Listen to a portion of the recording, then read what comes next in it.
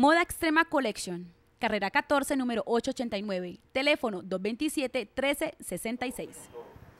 Feliz inicio de semana. Hoy es 22 de septiembre de 2014. Bienvenidos a la primera emisión de noticias.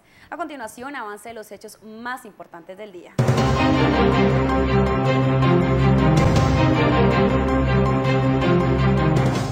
Ceiba debe ser erradicada. Esta fue la decisión que tomó el Consejo Municipal para la gestión del riesgo de Guadalajara de Buga. Nosotros eh, no actuamos eh, frente a situaciones que no en riesgo a la comunidad y aquí el riesgo es eminente.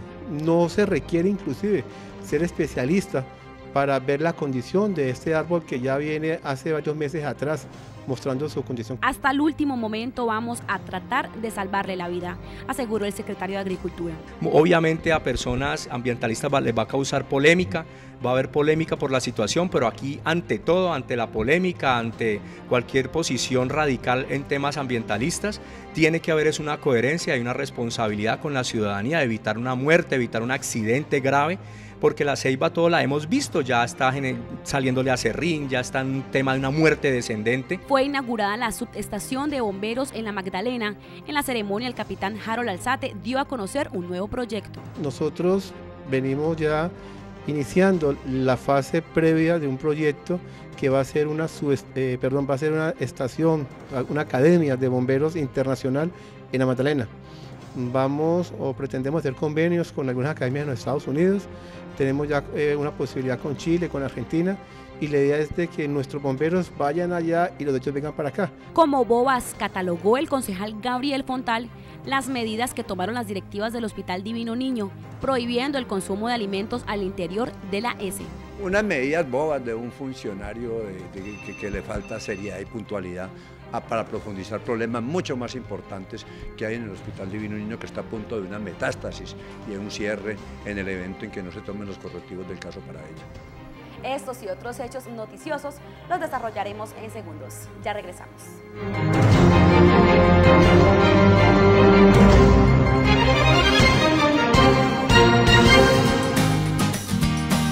Mejora tus ingresos, maneja tu tiempo y disfruta con tu familia. Comienza ya tu propio negocio con el catálogo de las marcas. Encuentra gran variedad de productos de moda, salud, bienestar, belleza y hogar. Obtén una de las mejores ganancias del mercado. En Cira todo es fácil. Comienza a ganar ya. Comunícate con nosotros para brindarte más información. En Cira, si lo deseas, lo logras.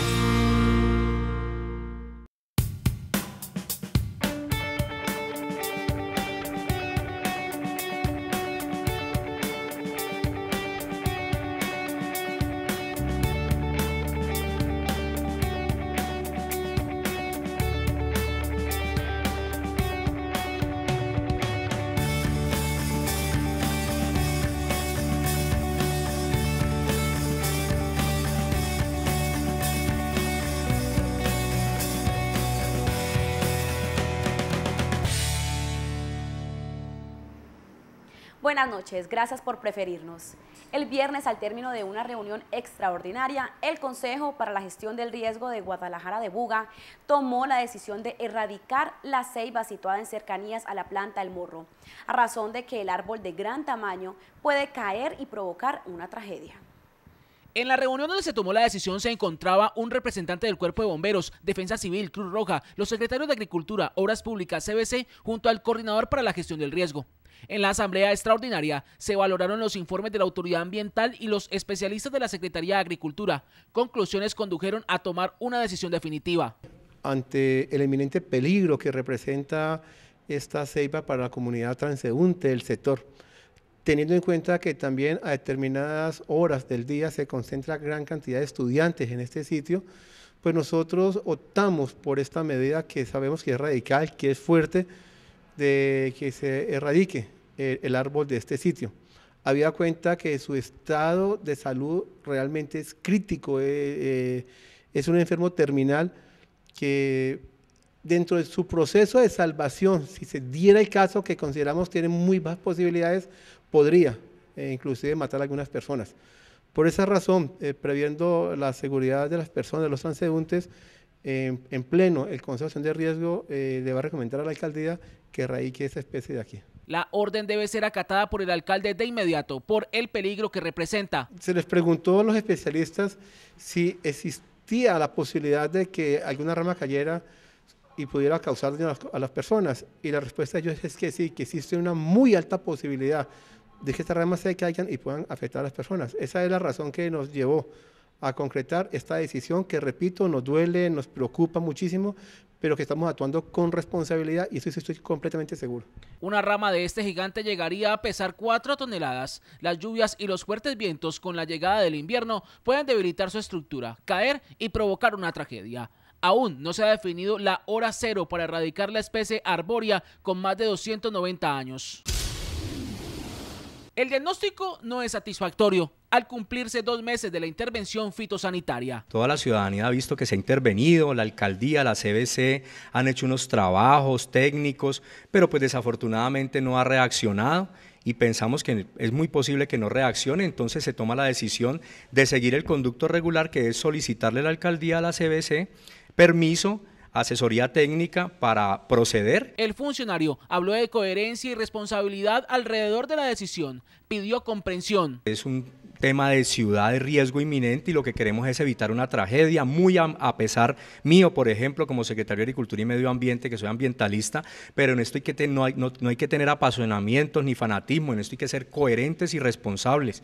Eh, eh, la ceiba es como los humanos, eh, tiene 290 años, puede llegar a los 400, 423 años tiene la ceiba del Hotel Guadalajara, que es la más antigua de la ciudad, pero ya sufrió un tema de fitosanitario, una enfermedad y desafortunadamente así como hay humanos que mueren a temprana edad, pues ella también infortunadamente tiene esta enfermedad, tiene este problema y tenemos es que actuar. A pesar de la decisión, las esperanzas es lo último que se pierde. Lo que sí se va a hacer es un trabajo en el momento de la erradicación para verificar paso a paso si todavía hay posibilidades, eh, más bien hacer unas podas de, que no generen riesgo y si todavía se puede salvar, hacer un último intento. En la asamblea, el coordinador para la gestión del riesgo ordenó a la Secretaría de Agricultura presentar un estudio sobre el estado de las demás especies arbóreas que existen en la ciudad difícil decisión. Cambiando de tema, el domingo 21 de septiembre fue inaugurada la subestación forestal de la Magdalena. En el acto, varios nativos recibieron el grado de bomberos. Las sirenas de las máquinas extintoras anunciaban la materialización de un sueño. Al compás de la marcha y al ritmo de la música, los oficiales, suboficiales y bomberos aún no lo podían creer. No, el Consejo de Oficiales está extremadamente feliz. Una satisfacción que es difícil de decirla en palabras.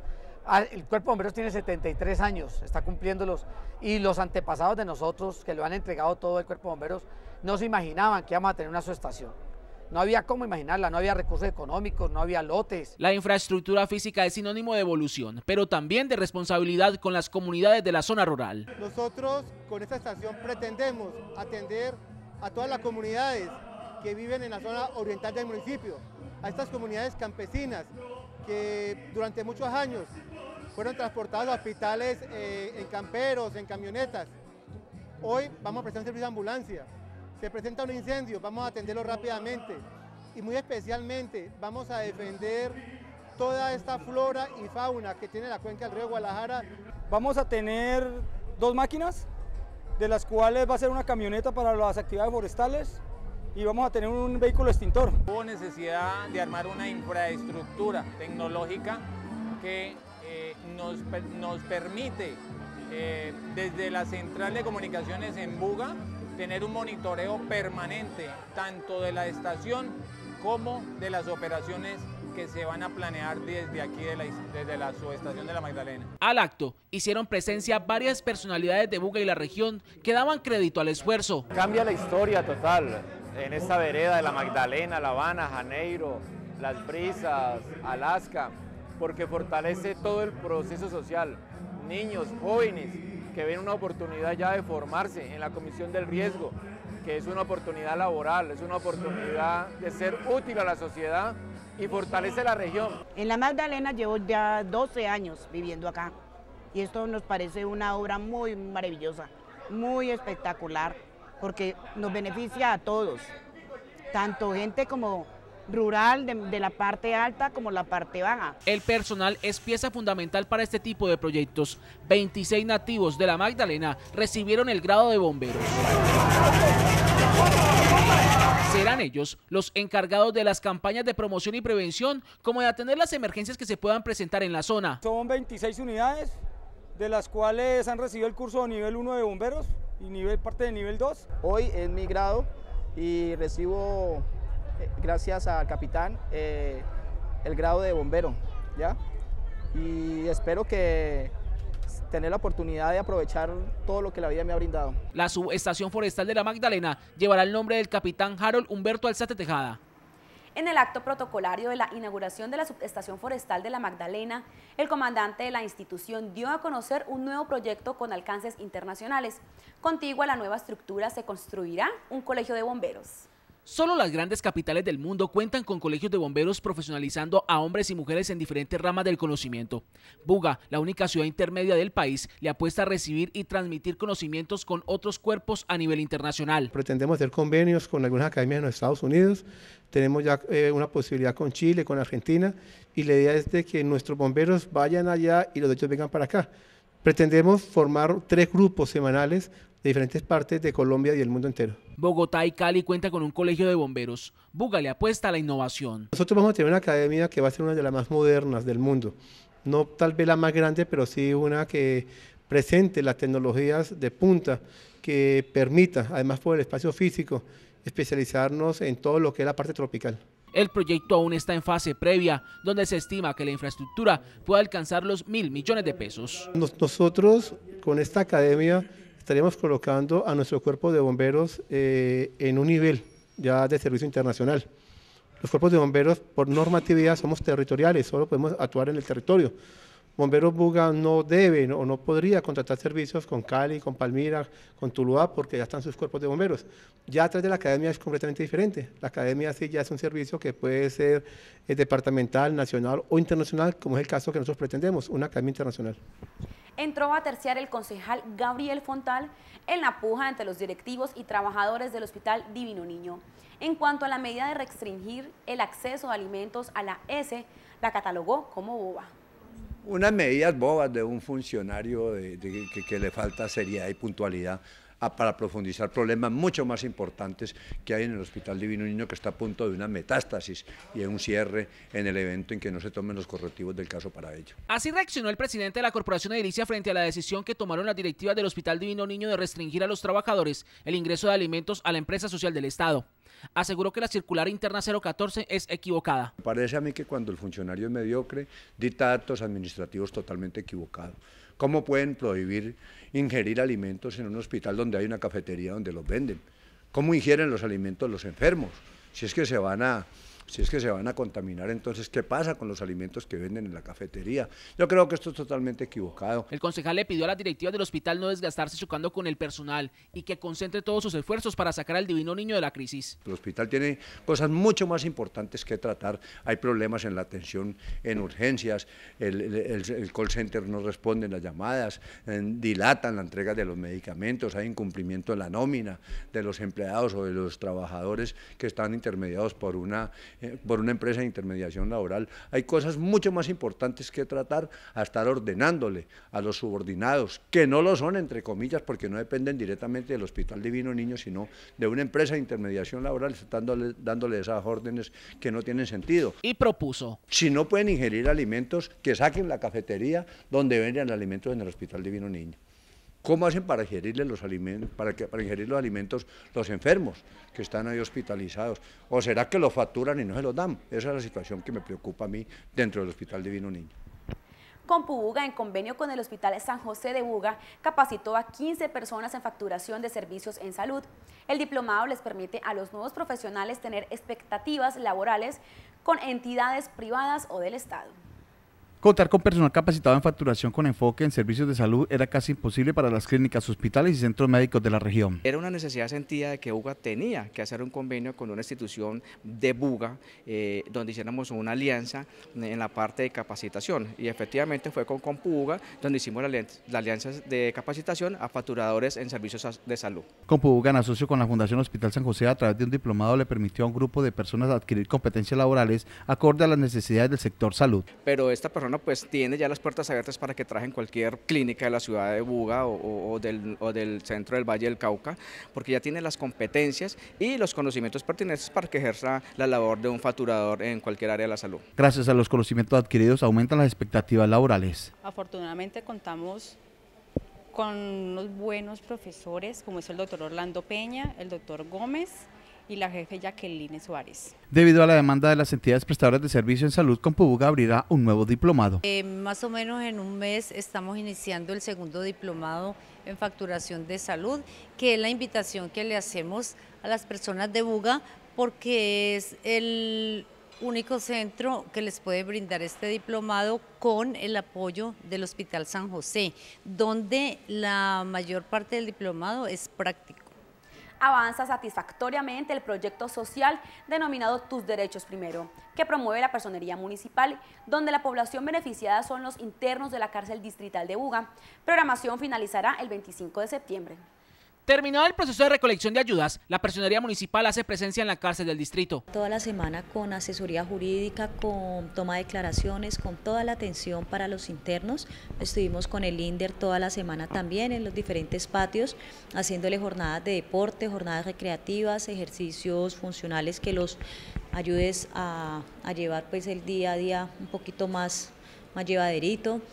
Eh, se les hizo eh, juegos de sapo, Estuvimos con charla en derechos humanos por parte de la personería. La vinculación de la administración municipal es fundamental para cambiar la monotonía de los hombres y mujeres que purgan sus condenas en el centro penitenciario. Hoy estamos con salud, con la Secretaría de Salud en la brigada, con todo lo de higiene, de higiene oral, o de eh, jornadas de eh, consulta médica y entrega de medicamentos.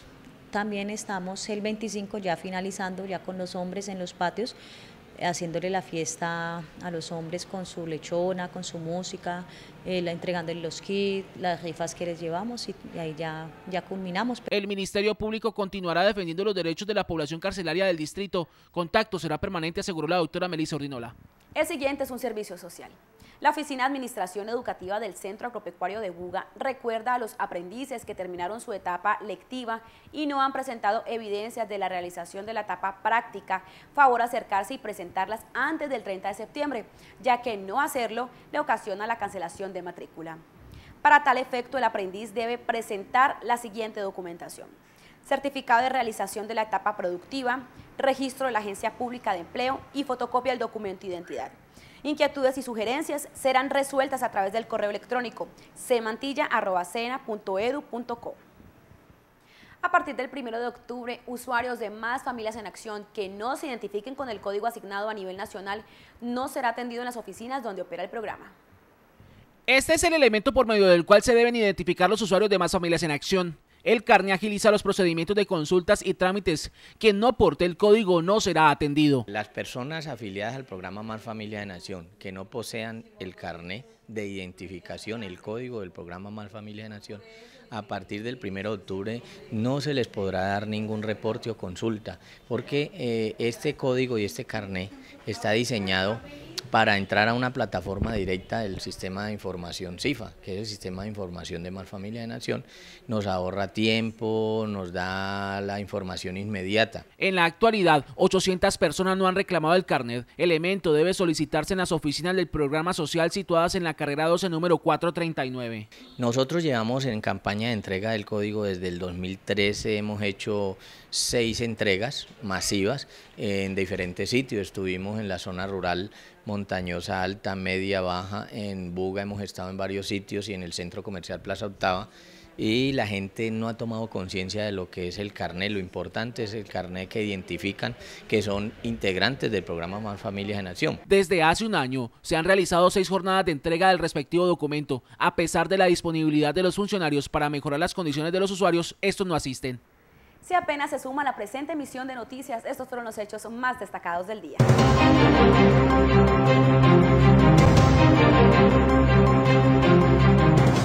Ceiba debe ser erradicada. Esta fue la decisión que tomó el Consejo Municipal para la gestión del riesgo de Guadalajara de Buga. Nosotros eh, no actuamos eh, frente a situaciones que generan riesgo a la comunidad y aquí el riesgo es eminente. No se requiere inclusive ser especialista para ver la condición de este árbol que ya viene hace varios meses atrás mostrando su condición. Hasta el último momento vamos a tratar de salvarle la vida, aseguró el secretario de Agricultura.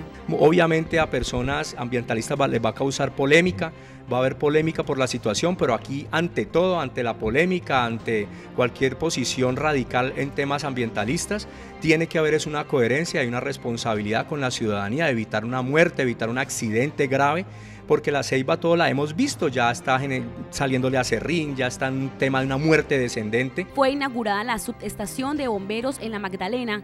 En la ceremonia el capitán Harold Alzate dio a conocer un nuevo proyecto. Nosotros venimos ya iniciando la fase previa de un proyecto que va a ser una, eh, perdón, va a ser una estación, una academia de bomberos internacional en la Magdalena. Vamos o pretendemos hacer convenios con algunas academias en los Estados Unidos tenemos ya eh, una posibilidad con Chile, con Argentina, y la idea es de que nuestros bomberos vayan allá y los de ellos vengan para acá. Como Bobas catalogó el concejal Gabriel Fontal las medidas que tomaron las directivas del Hospital Divino Niño, prohibiendo el consumo de alimentos al interior de la S. Unas medidas bobas de un funcionario que le falta seriedad y puntualidad para profundizar problemas mucho más importantes que hay en el Hospital Divino Niño que está a punto de una metástasis y en un cierre en el evento en que no se tomen los correctivos del caso para ella. Reviva los momentos de la primera emisión de noticias a través de las páginas oficiales en Facebook y de Aló Buga. Feliz noche para todos.